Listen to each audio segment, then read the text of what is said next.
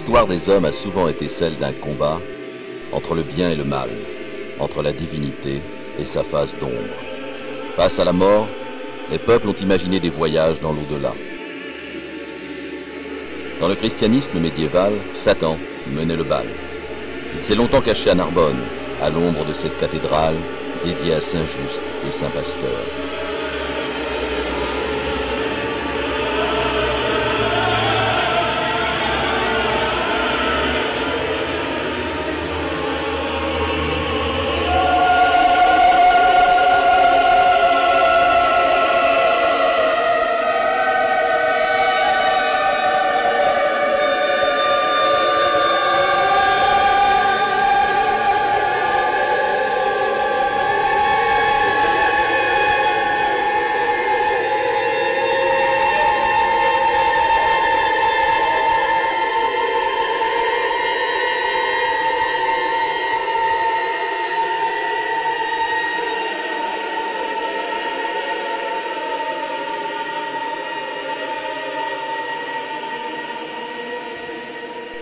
C'est ici que le diable se terre, au milieu de cet étonnant retable, sculpté au sein de la chapelle de la Mère de Dieu, Notre-Dame de Bethléem.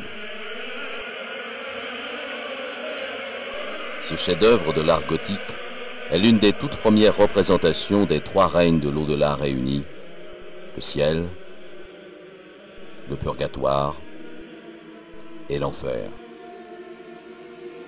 Le retable, c'est ce qui décore l'autel, c'est ce qui se trouve derrière la table, derrière et au-dessus de la table, d'où le nom. Et euh, en général, le, retable illustre en quelque sorte la, dévotion ou la titulature de l'autel devant lequel on, se trouve. Un retable médiéval et surtout ces rétables peints ou même quelquefois sculptés, euh, au fond, sont souvent une histoire en image euh, de la vie du saint ou, qui, est, qui est honoré à l'autel où se trouve ce retable. Ici, le programme euh, est peut-être le même, mais a connu un, un développement considérable. Le retable de Narbonne est divisé en trois parties principales. Tout en haut, des arcatures gothiques se mêlent à des statues d'anges et de saints. Le registre supérieur raconte six épisodes de la vie du Christ, parmi lesquels l'Annonciation et l'arrivée des mages. Au registre inférieur apparaît à gauche le purgatoire, ces épreuves de l'eau et du feu. À droite sont figurés les limbes des patriarches. Enfin, au centre, voici l'enfer et la mâchoire du Léviathan avec ses chaudières pleines de damnés. Un Judas perd ses viscères. Un homme et une femme sont pendus par la langue à un crochet. Aucun détail n'a été épargné aux fidèles pour forger leur croyance, les délivrer du mal. Le retable de Narbonne euh, euh, tient une place, euh, une place majeure dans, l'histoire de, l'art méridional. Ce retable est une œuvre sculptée, mais c'est également une œuvre peinte. La, polychromie bien conservée, ce qui est très rare dans le domaine de la sculpture, où les œuvres qui étaient découvertes ont été souvent nettoyées, grattées. On a enlevé la, polychromie, ce qui n'est pas le cas de, Narbonne, euh, et aussi bien pour, euh, le, style de, l'œuvre sculptée, mais également euh, pour les décors très raffinés que les peintres ont, ont ajoutés. L'œuvre tient une, une place essentielle. Cette œuvre magistrale revient de loin. Elle fut saccagée puis caché sous un mortier pendant près de deux siècles. Sans doute parce que son message ne correspondait plus aux mœurs du temps, aux nouvelles formes de dévotion. Le pouvoir royal voyait sûrement d'un mauvais œil Satan trôner sur cet autel. Les siècles passent, jusqu'à ce jour de 1851, où le grand architecte Viollet-le-Duc effectue une première découverte. On a découvert par l'emplacement du, tabernacle en marbre qui était là, la figure de l'enfer était en train de tomber. On a enlevé tout cela et on a découvert l'enfer avec sa charrette et puis on n'a pas osé aller trop loin parce que il y avait les plaques de marbre qui se tenaient les unes les autres. Et on a eu peur qu'en enlevant les, plaques de marbre seules, du bas, on fasse tomber les plaques du marbre d'en haut. Finalement, on a rebouché le tout parce que c'était une découverte euh, archéologique qui mineure, euh, qui ne posait pas tellement de, problèmes. Et Viol-le-Duc a empêché qu'on enlève de là euh, la tête du Satan et qu'on la mette, comme certains le demandaient, dans le musée. Plus d'un siècle devra s'écouler pour que la gueule de l'enfer réapparaisse aux yeux des humains. En 1981, la statue de la Vierge en albâtre, placée au centre de la chapelle, monte à Paris pour être exposée au Grand Palais. L'abbé Pauque profite de son absence pour voir ce qu'elle cache sous ses pieds. Je me suis attaqué alors euh, au marbre, aux plaques de marbre existantes sur tout le mur. Et c'est là qu'après l'avoir démonté, on a vu on a découvert euh, les, sculptures des deux anges. Et puis, euh, en, faisant des sondages, euh, on s'est aperçu que l'enfer était accompagné d'autres scènes. Le rétable de Narbonne, en fait, n'existe aux yeux de tous qu'à partir de 1981. Et c'est à partir de cette année-là qu'il entre dans le patrimoine il, entre dans le patrimoine euh, de la France, dans le patrimoine gothique, dans le patrimoine stylistique de la période, et c'est un petit peu comme une découverte que l'on fait au sein même d'un monument et que l'on ignorait. ça s'apparente presque à de l'archéologie du bâti. On rentre à l'intérieur d'un édifice que l'on croyait connaître et que tout d'un coup euh, révèle un trésor. Vision d'Apocalypse. Ces photos témoignent de personnages décapités, brisé, accumulé dans une montagne de gravats. Au terme de son exhumation, le retable était méconnaissable. L'ampleur du chantier à venir, près de 24 mètres carrés de décors à restaurer, dépasse les pures forces bénévoles. Alors, en 1984, les monuments historiques décident de reconstituer le décor tombé au sol, en vue de sa conservation. Une étude préliminaire est confiée à Jean-Claude Bessac, tailleur de pierre, devenu docteur en archéologie. Cet ingénieur du CNRS commence par assembler des milliers de fragments. Beaucoup ne proviennent pas du retable, mais du mortier qui le dissimulait ou des murs même de la cathédrale. Des fragments de tout calibre, souvent pas plus gros que le bout d'ongle.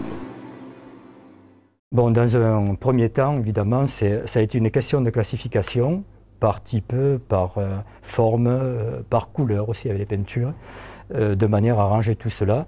Et certains, les plus, ceux qui étaient en connexion avec d'autres et qui risquaient de se perdre, ont été à ce moment-là recollés.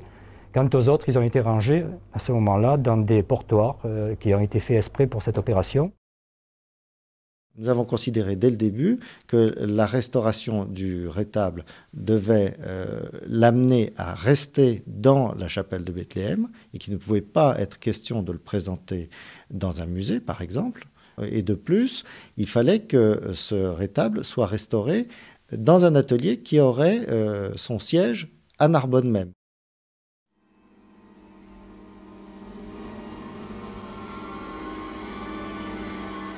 Dans le sous-sol du palais des archevêques de la ville, proche de la cathédrale, s'ouvre en 1997 un chantier de restauration exceptionnel au plan à la fois humain, scientifique, technique et financier. C'est ici que le diable se refera une beauté.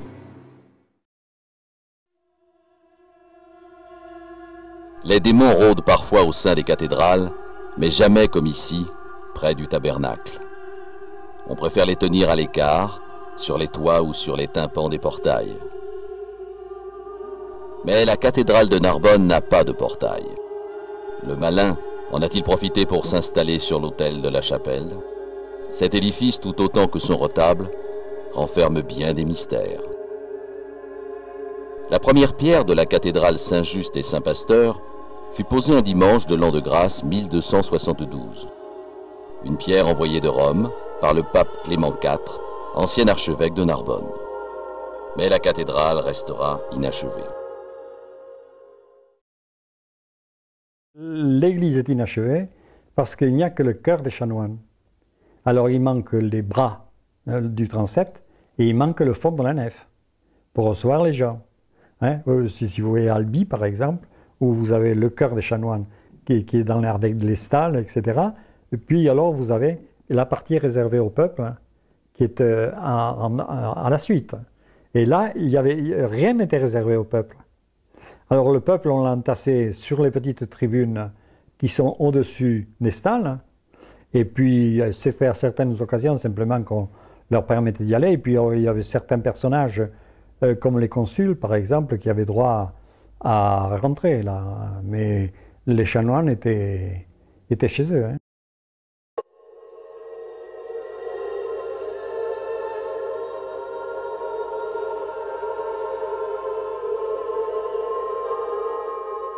Flanc du palais des archevêques, le vaisseau de pierre domine la ville. Au pied des voûtes de la chapelle axiale, des visions plus souterraines attendaient les dévots. Un pauvre diable embroché tourne sur le feu perpétuel. Une charrette s'avance, tirée par un cheval. Elle est pleine de damnés horrifiés dans un sort commun. On y voit des hommes et des femmes, des rois et des roturiers, des seigneurs et des vilains, des évêques et des mécréants. Comment expliquer cette fulgurante liberté d'expression? La liberté créatrice dans le rétable de, Narbonne, elle, est absolument indéniable et elle est tout à fait dans la tradition de ce que l'on observe tout au long du Moyen Âge. C'est-à-dire que euh, les artistes, euh, on dirait aujourd'hui les artistes, à l'époque sans doute les artisans, euh, étaient libres d'interprétation. Ils avaient un programme iconographique qui était rigoureux, c'est-à-dire qu'ils avaient un programme à suivre. On leur demandait de représenter les scènes de la vie du Christ, etc. Mais au travers de la façon dont ils les représentaient, ils avaient une liberté d'expression absolument extraordinaire, et une liberté, je dirais même, de dérision. L'esprit très corrosif du retable parcourt aussi le livre liturgique de Pierre Lajugi, archevêque de Narbonne et neveu du pape Clément VI. Ce pontifical, portant la date de l'année 1350, est conservé dans la salle du trésor de la cathédrale. Il s'ouvre sur le Seigneur dans sa gloire, mais contient des illustrations étonnantes, notamment au bas de la table des matières. Au bas de cette table des matières, vous avez un loup qui est habillé en moine et il est en train de bénir une petite brebis devant lui. Et puis, à côté, vous avez le loup, alors, avec son, son, habit mais, qui vole au vent, qui se précipite sur la brebis pour la manger. Hein? Voyez, alors c'était quand même un peu... c'était, c'était une critique, c'était une critique euh, qui figurait dans le livre de l'archevêque.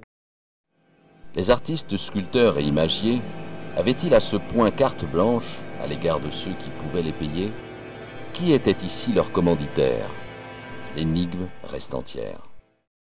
La part de mystère du, retable de, Narbonne euh, réside essentiellement dans, l'absence de, texte. Jusqu'à présent, euh, euh, on n'a pas, retrouvé les, sources de ce retable, c'est-à-dire les, les conditions de la, de la commande, peut-être un, contrat passé entre euh, le ou les commanditaires, l'évêque, euh, les chanoines euh, et, et, les sculpteurs, l'équipe de sculpteurs qui a, qui a travaillé dans, le, dans, dans la chapelle. il n'y a pas non plus de, il a pas non plus de, de signature, signature qui, qui sont rares, sinon absentes euh, sur les retables de, pierre, mais qu'on trouve euh, sur les retables de bois peint, par exemple, euh, par exemple en, Italie. Donc il n'y a, aucun, aucun renseignement, sinon les, armoiries qui sont peintes dans la partie inférieure du retable, mais qui n'ont pas été identifiées. Ironie du sort, les commanditaires du retable sont peut-être eux aussi dans la charrette des damnés. Pourtant, les archevêques de Narbonne étaient très puissants. Parents des papes d'Avignon, ils cumulaient plusieurs titres. Primat de la Gaule narbonnaise, duc de Narbonne et président né des États généraux du Languedoc. D'où l'ampleur de leur système défensif. Avec ses meurtrières, cette cathédrale est aussi une forteresse. De même, les rois avaient ici une place de choix. Cette chapelle de Bethléem a été fondée en 1322 par l'évêque Gilles Esselin. Ce prélat fut chancelier de Philippe le Bel. Un décor peint à l'œuf, à même le mur, situé derrière le retable, évoque ses liens avec les Capétiens. On croit pouvoir distinguer Philippe le Bel et son grand-père, le très catholique roi Saint-Louis, avec Jeanne de Navarre. Tout près, Philippe le Hardi avait son tombeau, que la Révolution a mis en morceaux.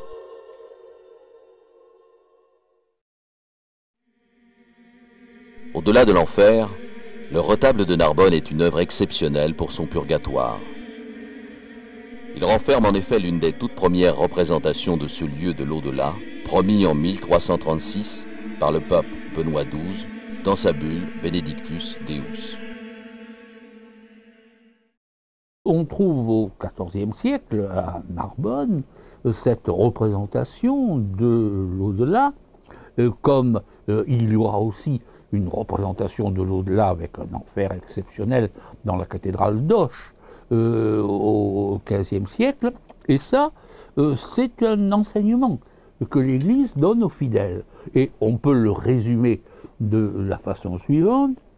Surtout, faites tout ce que vous pouvez pour échapper à l'enfer, car l'enfer, c'est terrible. Regardez ce qui se passe dans l'enfer. Les diables, les tortures, les châtiments, le feu, c'est terrible.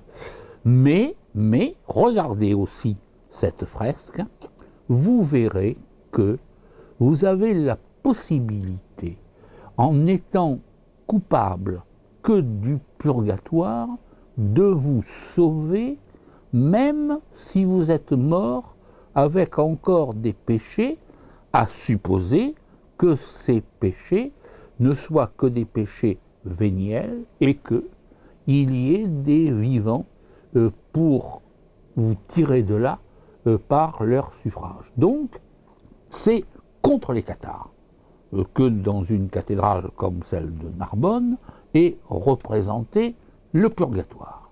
Vous voyez, les cathares disent qu'il ne faut pas croire au purgatoire, ils ont profondément tort, et d'ailleurs, euh, ils vous privent d'un espoir. Donc ne croyez pas les cathares, ne suivez pas les cathares, et si vous êtes cathare, convertissez-vous, vous aurez un au-delà bien meilleur. Dès les origines, les chrétiens prient pour leurs défunts, car ils croient possible une rémission des péchés après la mort. Mais le temps, le lieu et les modalités de cette purgation demeurent longtemps dans le vague. C'est seulement vers 1190 qu'apparaît le terme purgatorium dans le traité d'un moine cistercien, le purgatoire de Saint Patrick, qui raconte un voyage imaginaire sur une île irlandaise où le purgatoire est matérialisé par un trou profond infernal. C'est un christianisme de la peur, et cette peur, elle se concentre euh, sur l'enfer, sur les diables et sur le grand maître des diables, sur le souverain des diables qui est Satan. Satan, c'est l'ennemi, euh, Satan, c'est l'adversaire. Euh, dans cette société féodale qui cherche à créer de bons seigneurs, il y a en contrepoint euh, un mauvais seigneur, un très mauvais seigneur. Et ce mauvais seigneur, c'est Satan. Mais avec le purgatoire, l'Église veut montrer que sans être parfait, et là encore, euh, on retrouve la lutte contre les cathares, euh, qui eux demandent que on se rapproche le plus possible des parfaits, eh bien, sans être parfait, on peut finalement être sauvé grâce au purgatoire. Et avec le purgatoire se nuance, s'estompe ce christianisme de la peur qui cède peu à peu la place à un christianisme de l'espoir. C'est pas l'enfer, parce qu'on est reçu par un ange. C'est lui qui a les clés à la, ceinture. après, il vous laisse aller, et alors là, ce sont des diables qui vous prennent en main et qui commencent par vous pousser euh, vers une baignoire sur une mer de glace. Et la, baignoire, euh, avec le drap qui était au-dessus de la baignoire pour, regarder la, température. Mais alors, ils sont, ils sont plongés dans l'eau euh, jusqu'au cou, jusqu'à la bouche, ou bien jusqu'aux yeux. Et puis, alors, là, après, ils sortent de, de là, ils vont, être, ils vont être bientôt secs, et puis alors, il y a un four. On en voit qui rentre dans le four, qui reste un petit moment, et puis qui en sortent c'est le, passage, c'est transitoire. ce n'est pas le, feu perpétuel de l'enfer. Hein. Euh, on en sort. On en sort purifié.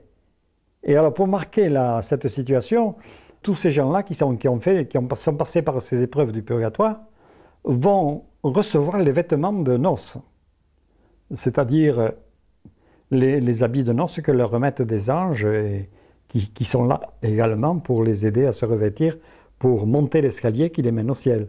Sur l'escalier, il y a une, une jeune femme euh, qui, est, très belle, avec sa, une robe euh, rouge et verte. On a, on a trouvé les deux morceaux et puis j'ai eu la joie de pouvoir coller quoi, tout de suite. Le retable de Narbonne a nourri la piété populaire et par son purgatoire, l'espérance, en enseignant aux fidèles une solidarité avec les morts. Par leurs prières et leurs suffrages, les vivants peuvent racheter les pauvres pécheurs qui sont dans l'au-delà. L'Église institue euh, pour ses suffrages des tarifs.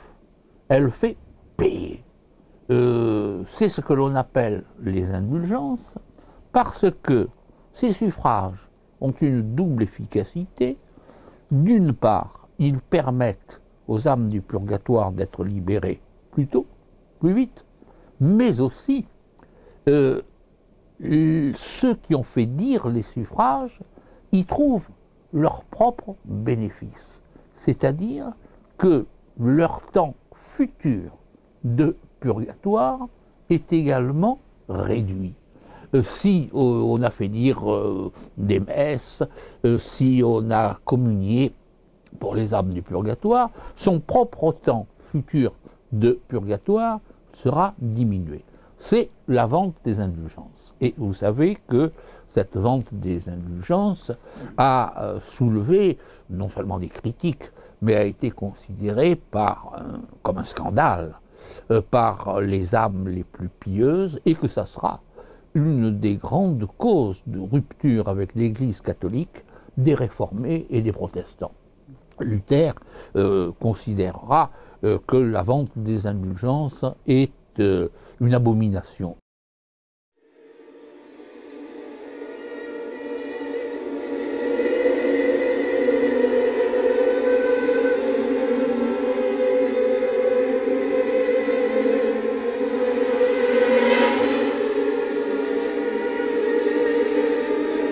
Jadis, cette cave, située à proximité du chevet de la cathédrale, s'appelait le Tinal. Les chanoines y mettaient au frais leurs précieuses barriques de vin, les vivres de leur communauté. À la fin des années 90, les monuments historiques y ont installé le chantier de restauration du retable.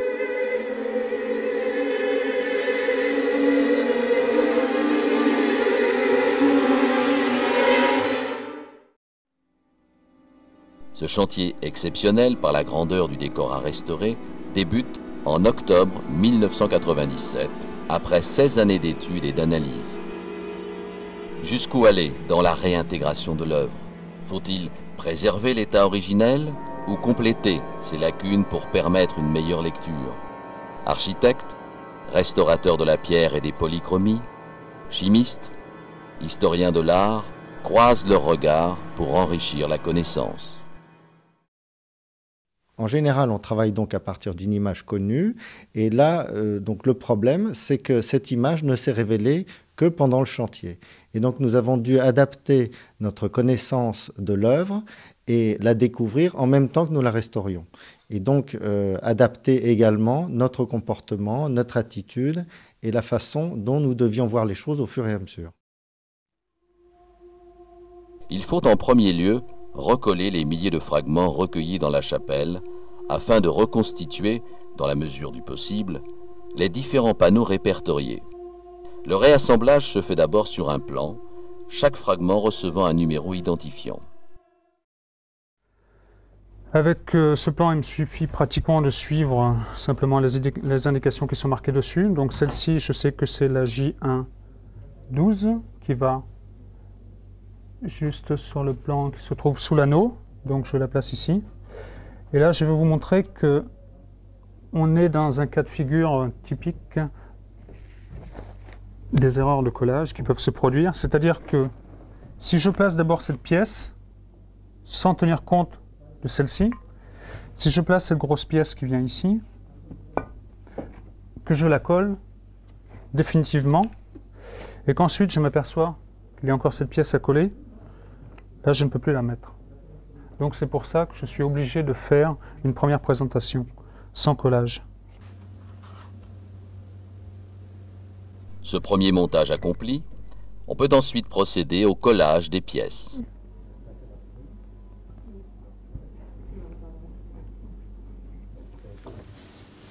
Dans un second temps, il faut consolider les blocs. La solution adoptée consiste à creuser des saignées perpendiculairement aux fissures. On place ensuite, à l'intérieur des saignées, des agrafes métalliques enduites de colle. En fait, c'est pas un choix qui est très esthétique. Parce on voit que ça marque beaucoup la pierre, mais c'est euh, le choix qui permet un retour en arrière le plus sûr. Ainsi consolidés, les blocs peuvent passer au dépoussiérage.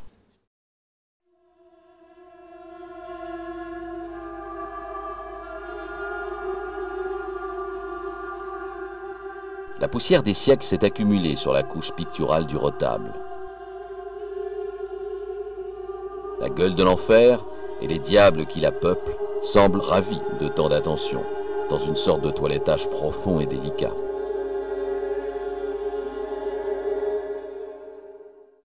On est devant une œuvre qui a, été enfouie et qui est restée pendant pas mal de temps, voire euh, plusieurs siècles, sous une couverture de, mortier qu'il a occulté d'abord aux yeux du public, à nos yeux, et qui, lui a fait, euh, qu'il a vieilli prématurément. Le retable avait vécu déjà quelques siècles avant son enfouissement, donc a vécu aussi des dégradations naturellement, mais lorsqu'elle a été, euh, lorsque la pierre a été enfouie, son vieillissement a été accéléré d'une certaine façon.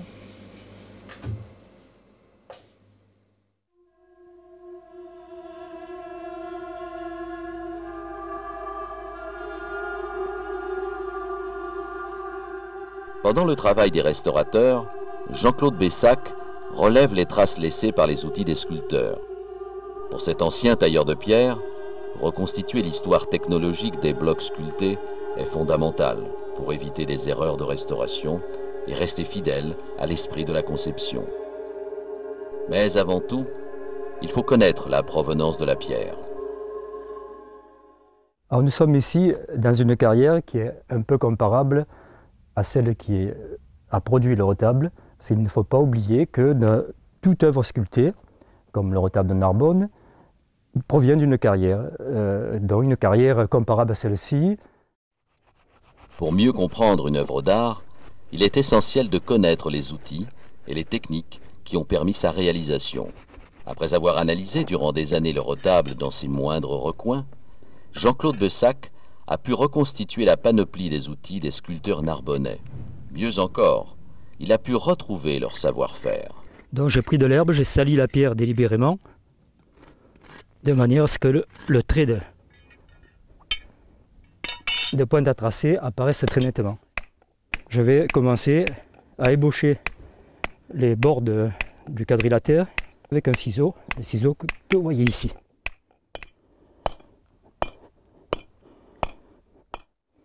Ici, nous avons deux gradines, l'une à grosse dent qui permet d'ébaucher la taille, et l'autre pour finir à dents très fines. vous voyez ici, Et ce sont euh, deux outils qui sont très très très utilisés au Moyen Âge en particulier, au XIVe siècle en particulier, celui à d'Amphine pour terminer.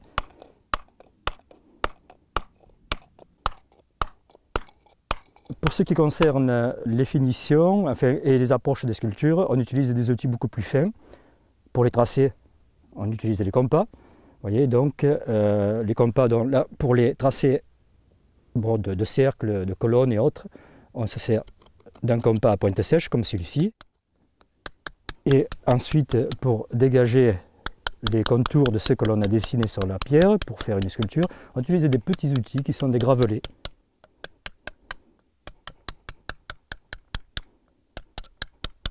Les moindres parties du retable sont ripées, c'est-à-dire euh, raclées avec cette, cette ripe, ce type de ripe.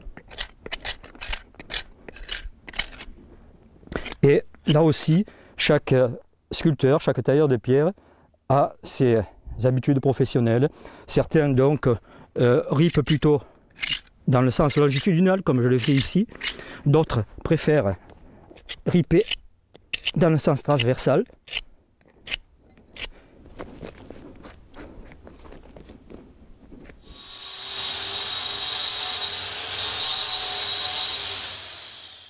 Euh, reconnaître les, intervenants, les sculpteurs.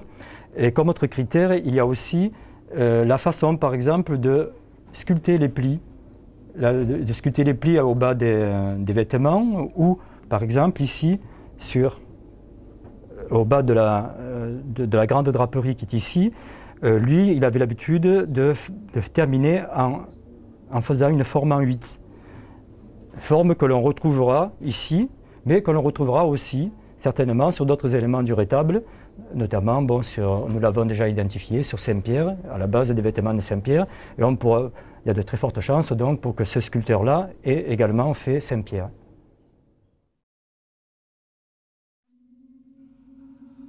Combien de sculpteurs ont œuvré sur l'ensemble du retable Jean-Claude Bessac estime qu'ils étaient au moins trois, peut-être six.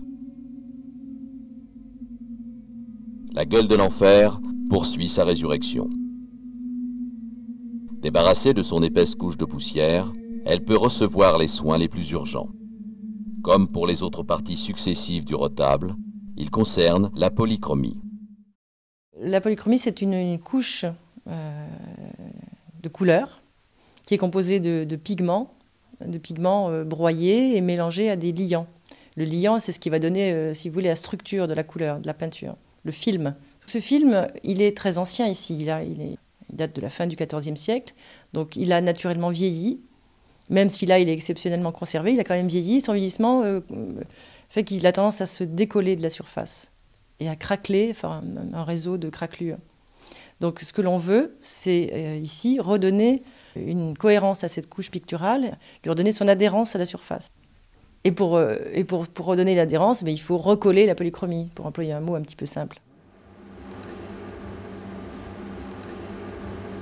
Eh bien là, avec mon petit coton-tige imbibé d'eau et d'alcool, je nettoie. Je dépoussière. J'absorbe les, les poussières euh, en surface et en même temps, je, prépare la polychromie à recevoir une, une petite dose de, résine et on choisit de, de, faire glisser la polychromie à travers le, réseau de craquelures pour rendre son adhérence à la pierre, à la polychromie lorsqu'elle est légèrement craquelée et soulevée.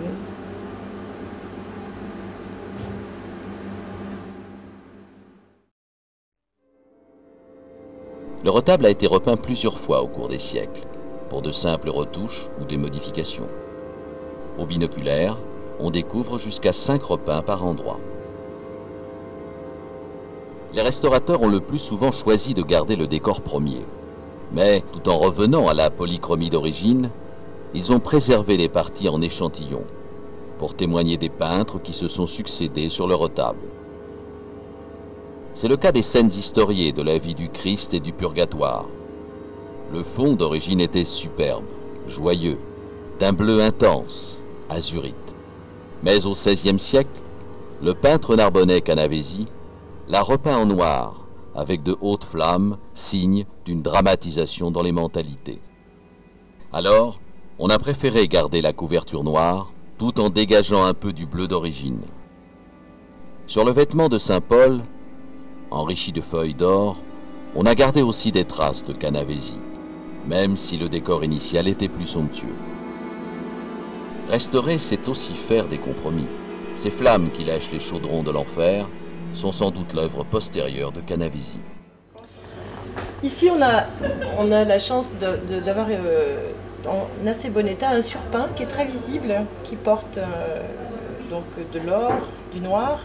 On s'aperçoit que le chaudron était à l'origine noir et les flammes rouges avec deux, deux tonalités différentes. On aperçoit ici un rouge clair et un rouge plus sombre. Et donc le surpeint, la couche qui vient couvrir tout ça, est un rouge que l'on voit très bien ici, assez vif, encore plus, plus criant. Et donc euh, des flammes d'or qu'on n'avait pas sur la couche d'origine.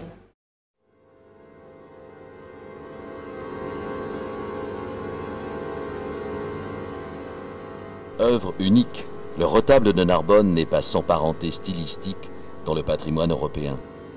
À l'époque de la réalisation du retable, les papes sont encore en Avignon. Depuis leur arrivée en 1305, ils ont fait venir d'Italie bon nombre d'artistes. Le plus célèbre, Simone et de Martini, est à l'origine de la fameuse école d'Avignon, dont on retrouve l'influence sur ce retable. L'influence de l'Italie est, assez forte. Euh, prenons par exemple le, panneau de, l'entrée du Christ à, Jérusalem. Euh, on, voit, très bien que le, sculpteur de Narbonne a un sens euh, très précis de la, de la, mise en scène, de la perspective.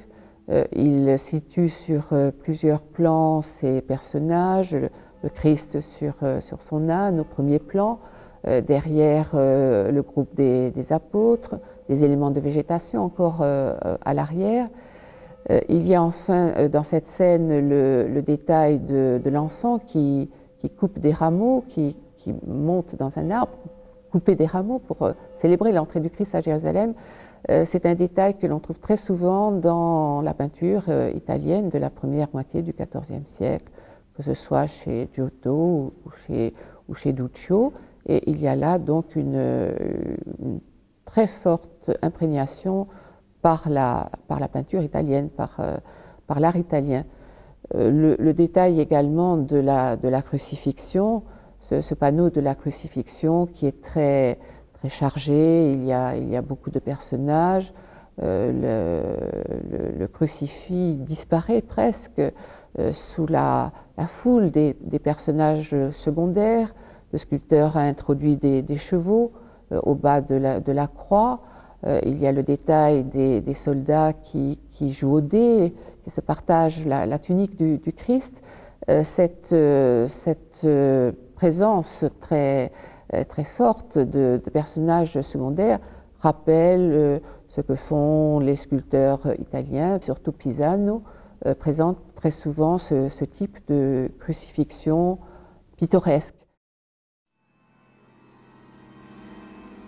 Pour Michel Pradalier, l'ensemble de ces parentés stylistiques permettent de dater le retable entre les années 1340 et 1350. L'heure du bain a sonné pour le diable. Il va être englouti dans une grande cuve, tel le Léviathan, ce monstre qui hantait le fond des océans. Confiné durant des siècles sous un mortier, exposé à la pluie, le retable s'est gorgé d'eau. L'eau a véhiculé les stèles cristallisées dans les pores de la pierre, elle les a fait migrer en surface, où ils ont formé un épais calcin. On est en phase de dessalement, et pendant que l'eau euh, pénètre dans les pores de la pierre, le léger courant électrique euh, qui, est transmis à l'eau favorise la dissociation des, ions. C'est un petit peu compliqué, mais les sels, ce sont en fait des combinaisons chimiques qui, euh, qui peuvent être dissociées par un léger courant électrique. C'est ce qui se passe ici. On a un très léger courant de 3 volts et ça suffit largement à dissocier chimiquement les ions des sels qui migrent actuellement dans l'eau. Et on vérifie par des mesures de conductivité la teneur euh, en, sel de l'eau, puisque ce, petit appareil, le conductimètre, nous indique une progression de conductivité. Donc on voit très, vite d'ailleurs, dès les premières minutes de bain, on voit la conductivité qui s'élève. Et ça nous indique clairement que l'eau est en train de faire migrer les sels hors de la pierre.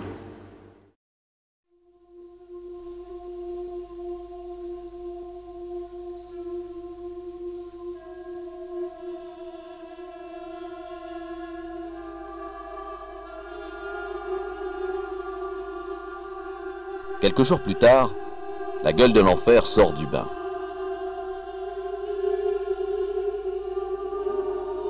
Elle est séchée dans une cabine.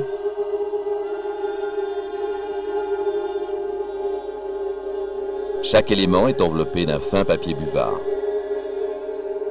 Il est ensuite recouvert de pulpe de papier.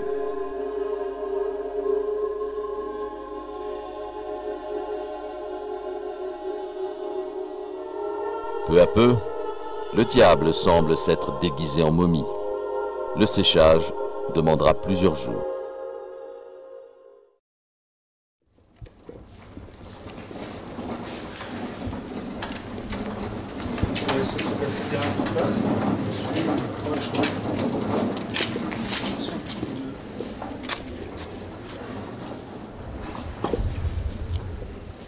Durant la dernière année du chantier, les panneaux restaurés sont acheminés au fur et à mesure dans la chapelle.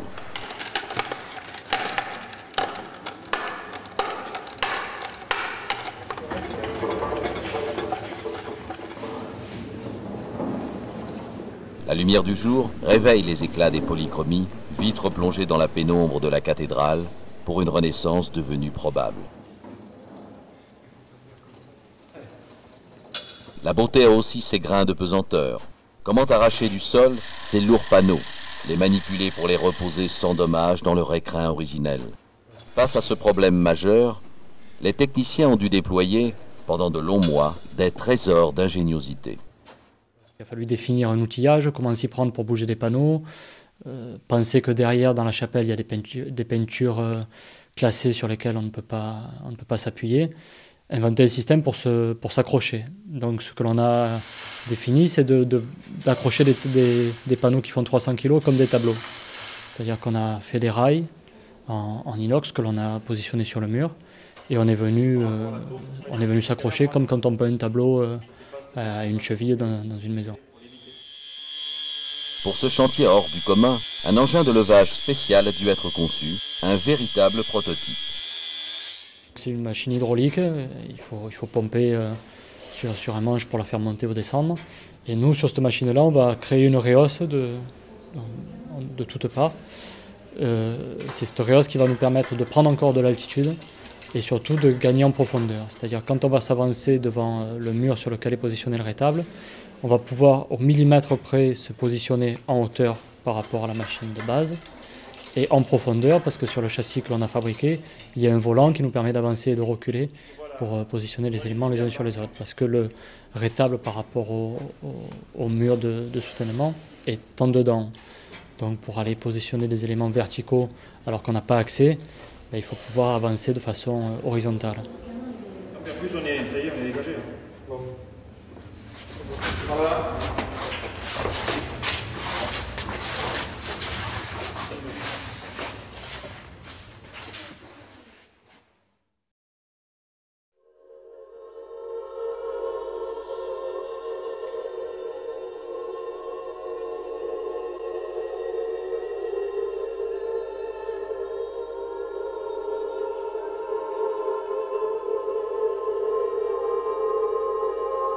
L'heure du dernier voyage a pratiquement sonné pour la gueule de l'enfer. Après un cycle de séchage, selon le taux de salinité vérifié par analyse de compresse ou par carottage, le diable de la cathédrale prépare son éternel retour.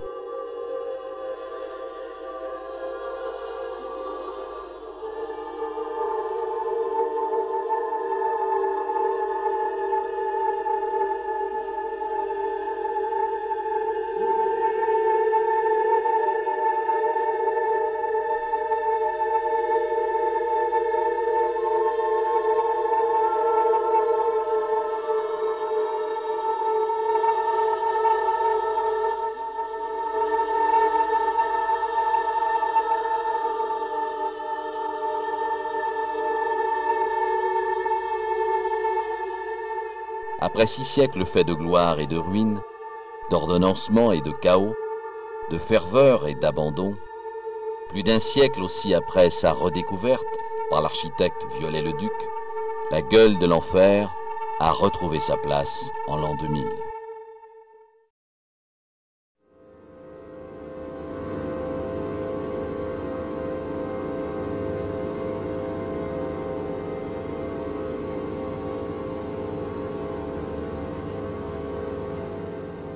Les panneaux du retable sont remis en place.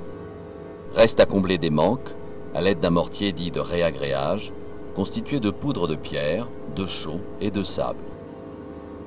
Une patine d'ocre naturelle, à base d'oxyde de fer pour les rouges et de bleu azurite, avec une eau chargée d'acrylique pour lier les piments, vient fondre ce matériau dans les éléments architecturaux.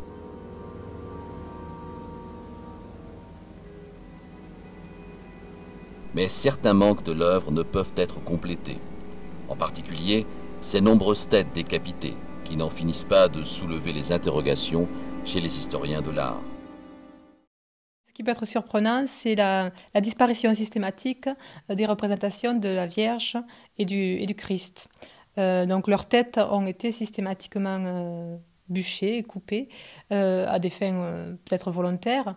bon, il est vrai que de nombreuses têtes dans le retable ont été cassées accidentellement au moment où on a décidé de, murer ce retable, mais par endroits, la, Vierge et le Christ auraient pu très bien subsister comme ont subsisté d'autres têtes. Euh, ce qui n'est pas le cas. Donc, sauf dans une scène où juste l'enfant Jésus euh, est intact, euh, sinon systématiquement leur visage a disparu. Autre fait étrange, les mages ne sont pas représentés en adoration, mais encore en chemin. Et il n'y a pas de jugement dernier, puisqu'il n'y a pas de Christ juge sur ce retable. À sa place, on trouve, semble-t-il, dès l'origine, une autre Vierge. Cette Vierge en albâtre n'a donc pas été sculptée pour le retable. Elle est trop grande pour lui et a sans doute remplacé un premier décor, probablement un jugement dernier, dont on perçoit encore les parties basses. Mais cette Vierge est pratiquement contemporaine du retable. Elle a pu le retrouver au terme de la restauration.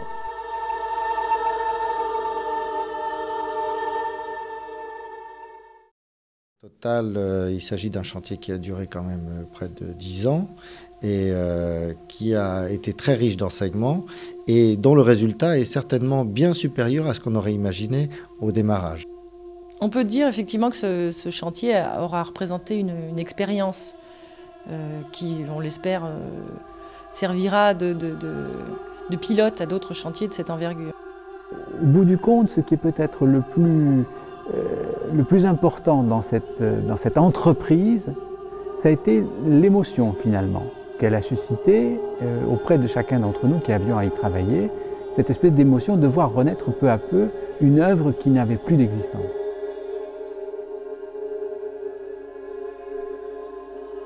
Durant trois siècles, après l'an 1000, la France a érigé près de 80 cathédrales. Celle de Narbonne, quatrième par sa hauteur, redécouvre par son retable le message des grands bâtisseurs lancés à l'homme du Moyen Âge et ses démons. Avec ses vieilles ficelles, le diable a tant de noms, tant de silhouettes, qu'il rôde encore dans quelques pans de l'imaginaire collectif.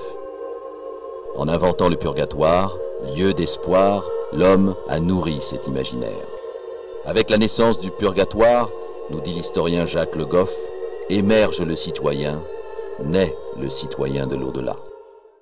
Il a représenté une nuance, il a représenté un espoir, il a représenté la volonté de juger euh, d'une façon plus précise et plus juste.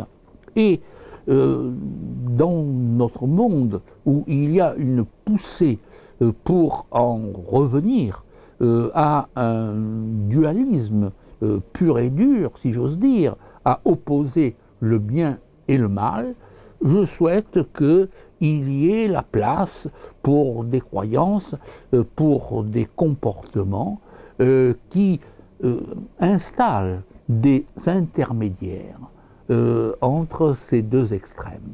je suis pour une modernité de la mesure. Pour l'historien, le Moyen Âge est la période qui permet le mieux de nous saisir dans nos racines et nos ruptures, dans notre modernité effarée, dans notre besoin de comprendre le changement.